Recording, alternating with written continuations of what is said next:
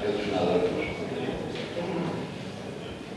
Η γνωμοδότηση είχε γίνει και η απόφαση ήταν ε, όλα τα σχολεία να παραμείνουν ανοιχτά.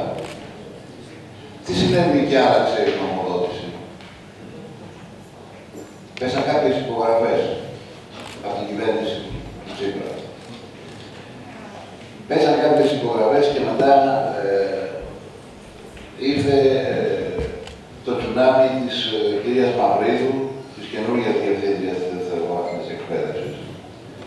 Ε, ήρθε και η εργαλειοθήκη του ΟΣΑ. Δεν μας έφτανε η Ευρωπαϊκή Ένωση και οι διρεκτήβες της. Μας ήρθε και η εργαλειοθήκη. Η εργαλειοθήκη τι λέει; Κόψτε σχολεία, κόψτε νοσοκομεία, κόψτε τα πόδια σας, κόψτε τα κεδάρια σας, κόψτε ό,τι βρείτε μπροστά σας. Και εμείς δεν θα αντισταθούμε. Θα δεχτούμε ό,τι μας υποβάλλουν. Κόβουνε τα νηπιαγωγεία. Ζητάνε 14 παιδιά και όχι 7 παιδιά για να υπάρξει νηπιαγωγία. Το κάνουν για να έχουμε καλύτερες συνθήκες εκπαίδευσης. Κόβουν τα αρχαία. Ξέρετε γιατί τα κόβουν. Για να εξοικονομήσουν 5.000 περίπου 700 καθηγητές. Αυτά είναι συμπτωματικά. Δηλαδή, μας λένε τώρα δεν είναι όμορφος το σχολείο των μεγάλων, δεν είναι όμορφο το σχολείο των. Να φτιάξουμε ένα δικαιοδονιά αν είναι, να είναι πιο όμορφο. Έλεος. Έλεος. Το μεγαλύτερο κατόρθωμα του ΣΥΡΙΖΑ είναι ότι έφερε σε αντιδικία τους κατοίκους της Δημοτικής Ενότητας Πλατέως. Αυτό, αυτό οφείλω να το, το αναγνωρίσουμε.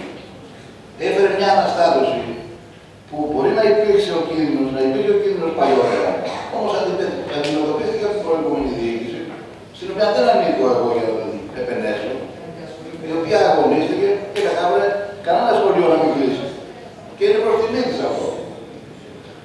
Λοιπόν, είναι τυχαίο ότι από τα τμήματα των 20 μαθητών η νέα κυβέρνηση που αντιπαθεί τα αρχαία, αντιπαθεί ε, τις πολλές ώρες διδασκαλίας, αντιπαθεί πολλά πράγματα.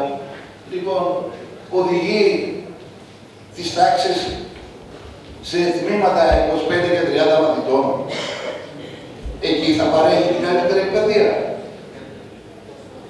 Επομένω, οι αίθουσε δεν φτάνουν. Να είναι σχόλια δεν φτάνουν οι αίθουσε κάποιων σχολείων. Δεν μα βολεύουν τα 17, τα, τα τμήματα 17 ατόμων. Πρέπει να οδηγηθούμε σε τμήματα 30 ατόμων. Δυστυχώς, οδηγούμαστε σε σχολεία με βάση τις ανάγκε τη αγοράς και όχι με βάση τις ανάγκε της μόρφωση και του πολιτισμού των παιδιών μας. Και είναι αμαρτία, ακούστηκε και εδώ, να κλείνουν σχολεία. Όχι γιατί για κάθε σχολείο ανοίγει μια φυλακή. Και αυτές γεμάτες είναι πια στην Ελλάδα τους σήμερα. Σημασία έχει και εκεί πρέπει να σταθούμε. Ότι αν δεν σταθούμε ενωμένοι, αν δεν αντισταθούμε τώρα ενωμένοι, αν φάμε το τυράκι της διχόνοιας που μας πήραμε, αύριο δυστυχώς, όχι ένα και ένα, όλα σε ένα θα είναι, δεν θέλω να πω. Εκεί, αν υποχωρήσουμε τώρα, οι υποχωρήσεις δεν θα έχουν τέλος. Αποδεδειγμένα. Γι' αυτό και θα καλώ στεναρά να αντισταθούμε, γιατί σε καμιά περίπτωση δεν είναι θέμα μαθητών. Το βάζουμε σε λάθος βάση θέμα. Είναι θέμα πολιτικών αποφάσεων να περιορίσουν καθηγητές, να εξοικονομήσουν από γιατρούς, από καθηγητές, από δασκάλους, από νηπιακούς χρήματα. Να αντιδράσουν όλοι μαζί αρκετή υποβάθμιση έχει υποστεί η ποιότητα ζωής μας. Αυτό είναι ο στόχος. Μονιασμένοι, ενωμένοι. Γι' αυτό καλώ όλους τους κατοίκους.